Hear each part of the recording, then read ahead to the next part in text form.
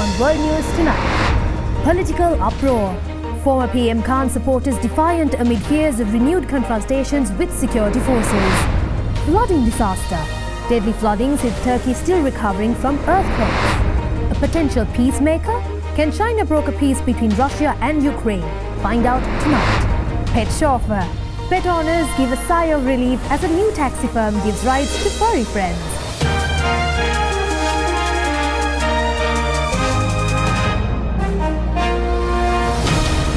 This is other Ada Derana World News Tonight. Reporting from Colombo, here is Sanuvi Mudanayaka. Good evening. You are joining us today on World News. The uproar in Lahore around Imran Khan's home does not seem to wear down. Scores of supporters of Imran Khan barricaded his home today to protect him as the former Prime Minister waited to hear the ruling on whether security forces could launch an operation to arrest him for the failing of showing up in court. Ahead of the court decision, a tense calm prevailed in Khan's Lahore neighborhood, which earlier this week was a scene of pitched battles between hundreds of supporters and security forces that had tried to force the former international cricketer to attend a hearing in a case in which he is accused of selling state gifts given to him while he was Prime Minister. Khan denies the charges. Even though there was no police presence on Friday, witnesses say Khan supporters armed with batons and iron rods remained stationed outside his home. The violence on Tuesday and Wednesday had raised fears of a new political standoff in the nuclear-armed Pakistan, which is already grappling with an economic crisis. Two provinces in southeastern Turkey were hit by heavy rainfall and flooding, leaving streets submerged and people trapped in floodwaters. Devastated communities are left to clean up after the destruction again. Tonight, at least 14 people are dead and many more still missing after torrential flooding hit Turkey in the same area where devastating earthquakes struck just weeks before. Trucks washed off roads, highways collapsing in on themselves, and people fighting for their lives against the raging currents. Rescue teams desperately searching for survivors after the flash flooding turned roads into rivers. Responders using ropes and ladders to pull people from rushing waters. These devastated communities left to clean up the destruction again. Just one month after massive earthquakes rocked the region. The situation has threatened their ability to recover, to be able to decide what their next steps are, uh, we're seeing families who are right back at square one and trying to decide what to do next, where to go. Those catastrophic earthquakes killing over 44,000 people in the country and leaving thousands more injured and homeless. Now, families living in makeshift shelters after flooding submerged their homes. The Turkish communities, the people that I met when I was uh, responding directly and the responders I spoke to on the ground, it's absolutely incredible to see the resilience of people despite all of the things that they have faced so far. We are witnessing the true power of humanity. Many people already displaced by the quakes, forced to start over again after this latest natural disaster.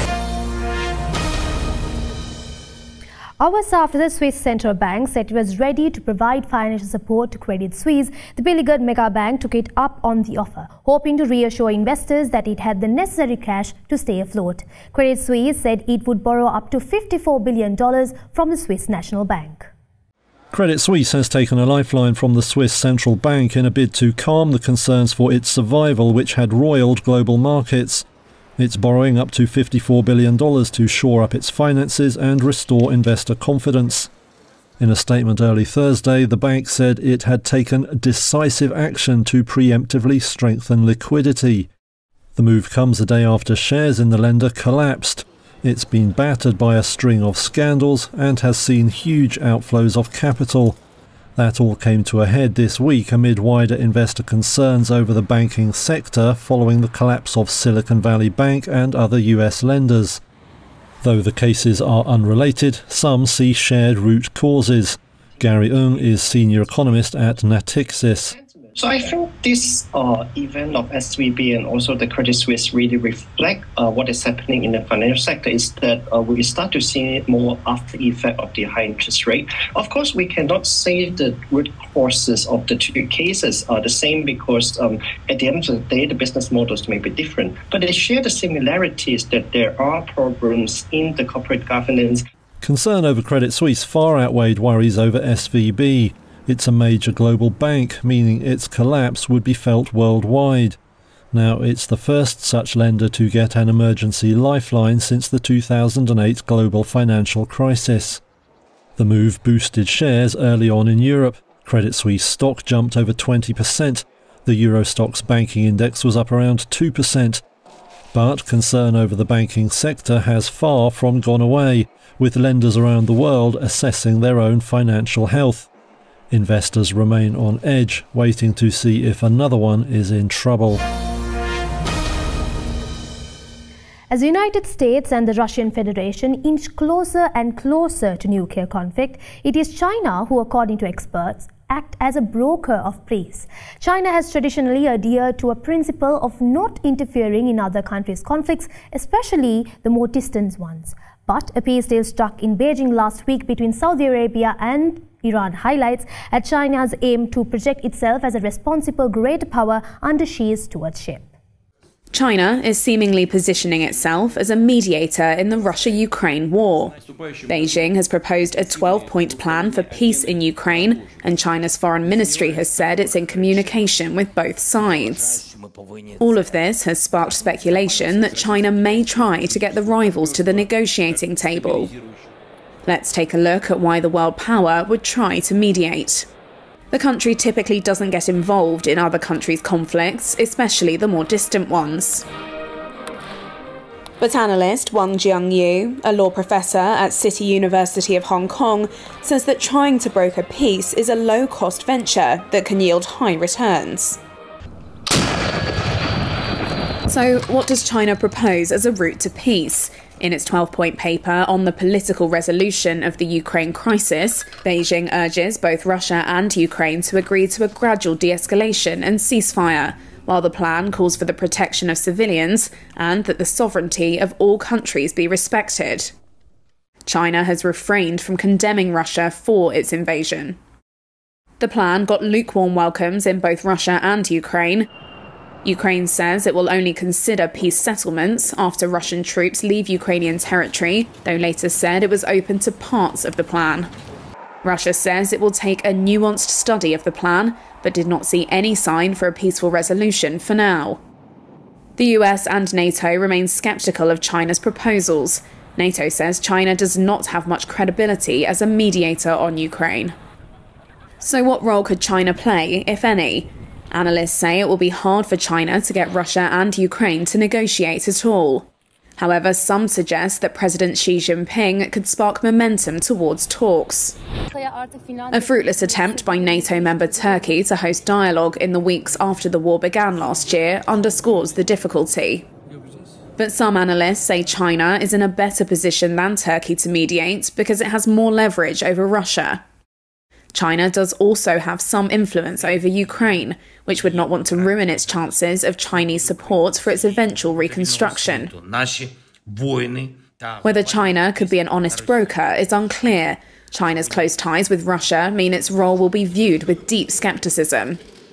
Days before Russia invaded Ukraine, China and Russia announced a no limits partnership and while China has called for peace since the beginning of the war, it's largely reflected Russia's position that NATO threatened Russia with its eastward expansion, and Ukraine's Western allies fanned the flames of war by supplying it with tanks and missiles. The leaders of South Korea and Japan are to build ties that look toward the future based on security and economic cooperation. President Yoon Suk Yeol and Japanese Prime Minister Fumio Kishida declared various measures to achieve just that. The leaders of Japan and South Korea met on Thursday in a historic moment because it's the first time that a South Korean president has visited Japan in 12 years. The two countries both allies of the US, but with centuries of animosity between them, are increasingly being driven closer together by China's growing presence in world affairs and mutual security threats, such as North Korea. Underlining that subject, North Korea launched another long range ballistic missile that landed in the sea between the three countries just hours before President Yoon Suk yeol arrived in Japan. This video released by Japan's defense ministry is believed to show the missile's contrail. Yoon and Japanese Prime Minister Fumio Kishida hashed out several new agreements in the visit, including tightening intelligence sharing and ending an almost four year dispute over raw materials used in high tech equipment. The visit also came in the middle of joint military drills between South Korea and American forces. It's not clear if the warmth between the Japanese and South Korean governments will change opinions at home. A recent poll by Gallup Korea shows 64% of respondents there said there was no rush to improve ties with Tokyo without a change in Japan's attitude. We'll be back after a short commercial break with more world news.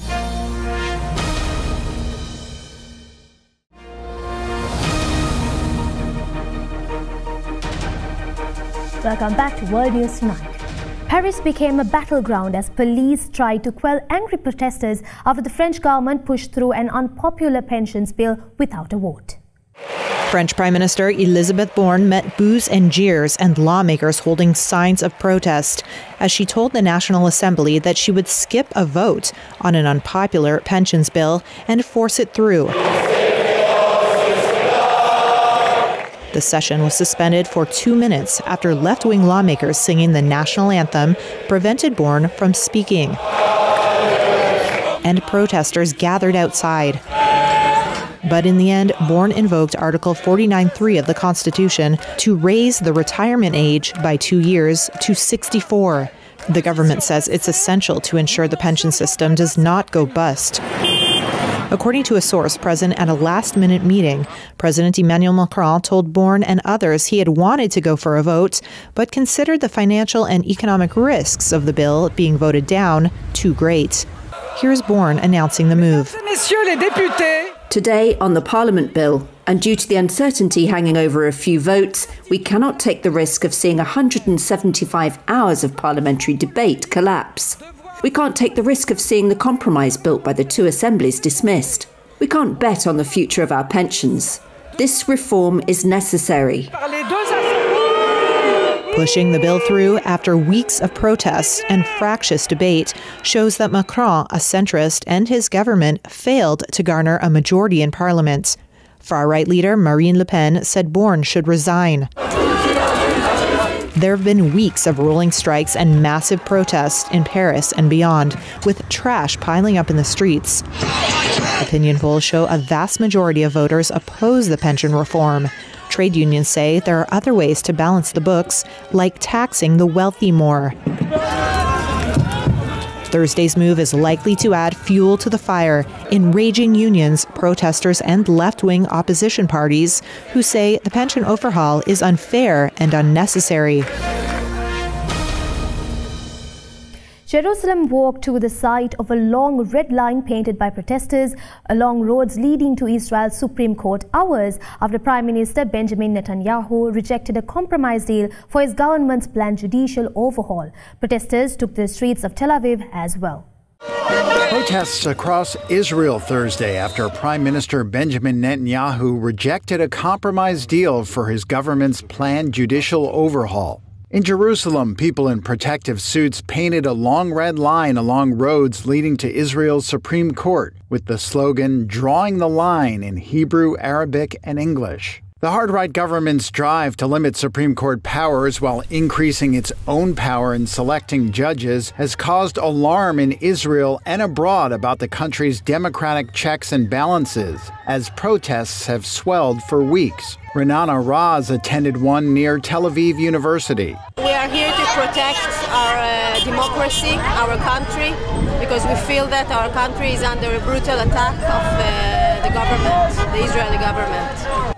Protesters called Thursday a day of resistance as they blocked roads and clashed with police. Women dressed in red cloaks and white bonnets in reference to the totalitarian novel turned TV series The Handmaid's Tale marched in formation. Israel's President Isaac Herzog had unveiled alternative changes to the judiciary Wednesday, but the Israeli cabinet secretary confirmed the government coalition was not behind the proposal. He warned that Israel was at a dangerous turning point. Whoever thinks that a true civil war where human life is at stake is a border we won't reach has no clue. Specifically, now in the 75th year of the State of Israel, the abyss is at arm's reach. A civil war is a red line. I won't let that happen at any cost and in every way. Netanyahu visited Germany Thursday for a meeting with Chancellor Olaf Scholz, where he defended his judicial plan. But the ideas that are presented in Israel as though this is a break with democracy is not true. Israel was, Israel will remain a liberal democracy, not different and as strong and as vibrant as it was before and as Europe is today. Uh, we are not going to deviate from that one bit, uh, and we're committed to it. Netanyahu has been formally barred from involvement in the initiative because he's on trial on corruption charges, which he denied. Microsoft Corp trumpeted its latest plans to put artificial intelligence into the hands of more users, answering a spate of unveilings this week by its rival Google with updates to its own widely used Office software. Microsoft chief executive said that the technology will unlock a new wave of productivity growth. We believe this next generation of AI will unlock a new wave of productivity growth. Microsoft on Thursday unveiled its latest plans to put artificial intelligence into the hands of more users by announcing upgrades to its widely used Office software. Coming as rival Google announced a flurry of its own upgrades earlier this week, touting AI features for Gmail and a magic wand to draft prose in its own word processor. Introducing Microsoft 365 Copilot, your copilot for work. Copilot combines the power of large language models with your data in the Microsoft Graph and the Microsoft 365 apps to turn your words into the most powerful productivity tool on the planet. Microsoft previewed a new AI Copilot for Microsoft 365. Its product suite that includes Word documents, Excel spreadsheets, PowerPoint presentations, and Outlook emails. The company, outpacing peers through investments in ChatGPT's creator OpenAI, also showcased a new business chat experience that can pull data and perform tasks across Microsoft's applications simply on a user's written command. Here, you're in a meeting with your team. You can ask Copilot to summarize what's happened so far. You can see who said what, what points were made. Copilot is really capturing the spirit of the discussion. As the meeting progresses, you can check on where people stand. You can even ask Copilot what questions are unresolved. The frenzy to invest in and build new products began with the launch last year of ChatGPT, the chatbot sensation that showed the public the potential of so called large language models. Such technology learns from past data how to create content anew. This type of AI is evolving rapidly. Just this week, OpenAI began the release of a more powerful version known as GPT 4, which is included in the chatbot in Microsoft's updated Bing search engine. This week's drumbeat of news, including new funding for AI startup Adept, reflects how companies large and small are locked in a fierce competition to deploy software that could quickly reshape how people work. Every morning in a city in Indonesia's far east, sleepy teenagers can be seen trudging zombie-like through the streets on their reluctant way to school. The pilot project in Kupang, the capital of East Nusa Tenggara province, has 12th graders at 10 high schools starting classes at 5.30 a.m. Authorities say the scheme is intended to strengthen child's discipline. The sun is not yet up as these teenagers dutifully make their way to school. The headmaster is waiting for them at the entrance. The word Pancasila, Indonesia's state philosophy, flashes across an electronic billboard. It's 5:30 a.m. The pilot scheme in Kupang, announced last month, is intended to strengthen children's discipline, but it only applies to 12th graders in 10 high schools, giving teachers a headache. Teachers were not in favor of this policy because they must teach in three shifts. It means they start working at 5:30 a.m. and finish at 5 p.m. Parents say that instead of improving their minds and bodies, the extra early start to the day is simply leaving sleep deprived teens exhausted. The policy has also drawn criticism from education experts as lacking scientific basis. Studies have shown that starting school before 8:30 increases health risks for teenagers and that compromising their sleep quality could lead to anxiety and depression. Proponents of the plan argue that the pupils that start early also finish early and can get adequate sleep.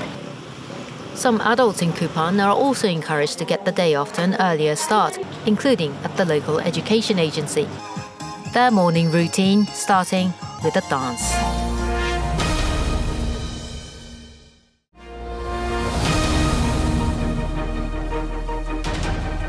Welcome back. For more news, let's take you around world. Hundreds of spectators watched as former Australian professional surfer Blake Johnston broke the world record for the longest surfing session in Sydney today. Britain and New Zealand said it would ban TikTok on government phones with immediate effect, a move that follows Western countries have barred the Chinese-owned video app over security concerns. Poland will send Ukraine four MiG-29 fighter jets in the coming days, making it the first of Kiev's allies to provide such aircrafts while the battle for Bakhmut rages on. At least eight people were killed after the roof of a potato cold storage building collapsed in northern India. The accident took place in Uttar Pradesh after which national and state emergency services were deployed to carry out search and rescue operations. Mexican President Andres Manuel Lopez Obrador told a news conference that it was not Mexico that was responsible for the introduction of most fentanyl into the United States, adding that more fentanyl reaches the United States and Canada directly than through Mexico.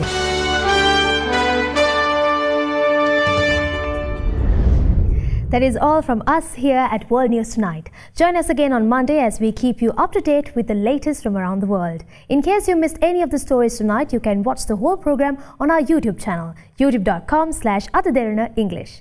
We leave you tonight with the owner of a pet taxi making for parents' lives easier in the busy metropolitan of Dubai as he chauffeurs around a special kind of clients. Thank you and good night.